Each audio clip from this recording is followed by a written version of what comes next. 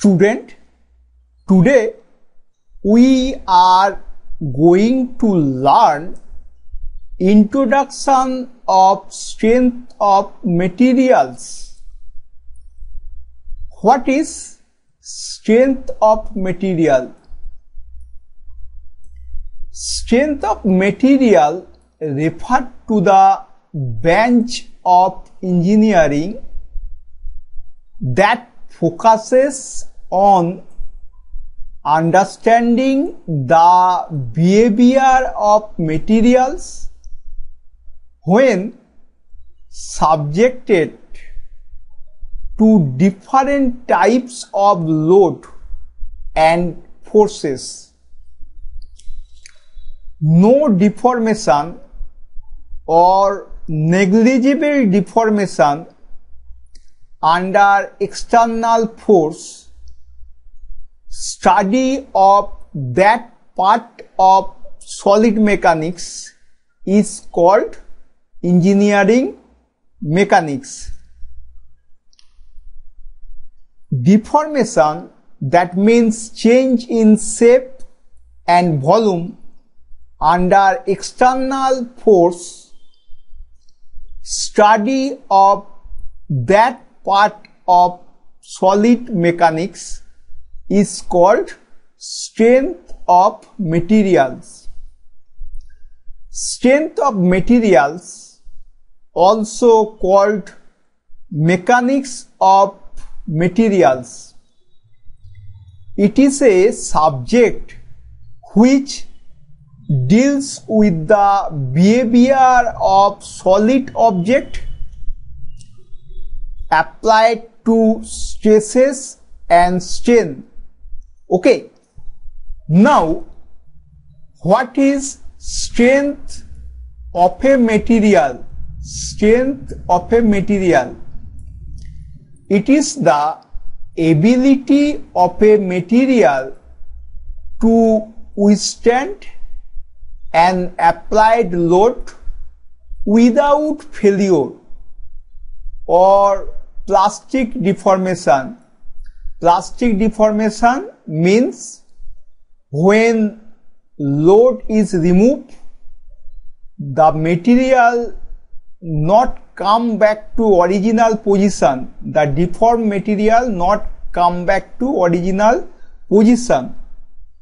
Strength of a material is the ability of a material to resist mechanical forces when in use.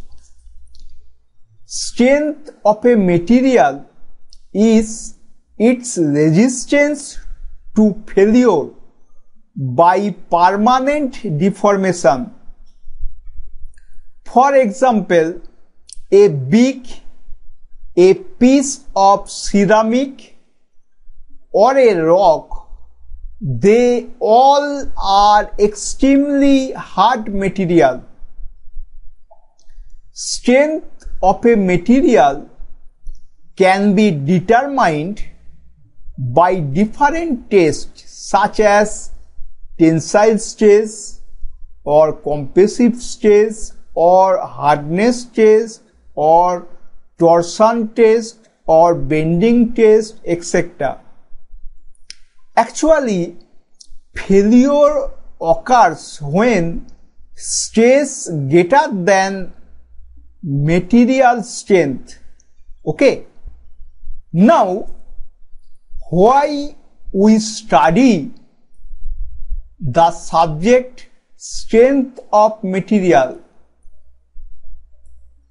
Number one, to check the load applied on body component. Number two, to select the material which can withstand a particular amount of load. That means load carrying capacity.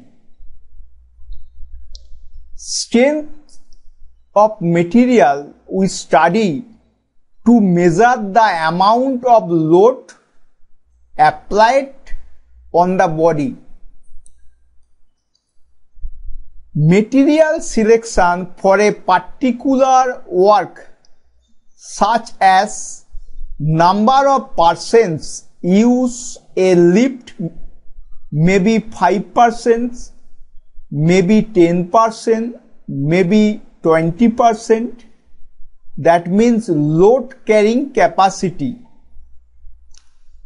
The purpose of studying strength of materials is to make sure that design of a structure is safe against the combined effect of applied forces and moment. Okay. Now, what is rigid body? A solid body in which deformation is zero or negligible under application of external forces is called rigid body. A rigid body is one in which all particles remain at fixed distance from each other irrespective of the forces that act on the body it does not deform under the action of forces. A rigid body is a body that does not deform or change in shape. In a rigid body, the distance between any set of two points in it is always constant. Okay. A ball bearing made of hardened steel is an example of a rigid body. A ball bearing loses almost no mechanical properties and retains its maximum amount of shape. Okay. Now, what is deformable body? Any body that changes its shape and or volume under any kind of external force is called deformable body. A deformable material or body affect the mechanical properties, performance and durability of materials. A deformation can occur because of external load, gravity or electromagnetic forces or change in temperature, moisture content or chemical reaction etc. The earth is a deformable body and its shape is continuously changes. Deformable body mainly three type of deformation are brittle, ductile and elastic. Deformable body material can be plastic, wax or cotton. Okay. Now, what is equilibrium of forces?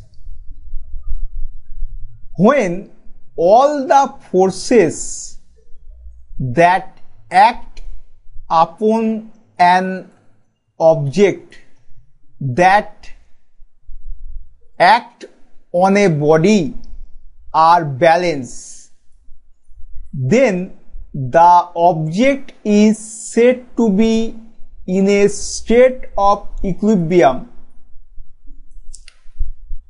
This is a beam.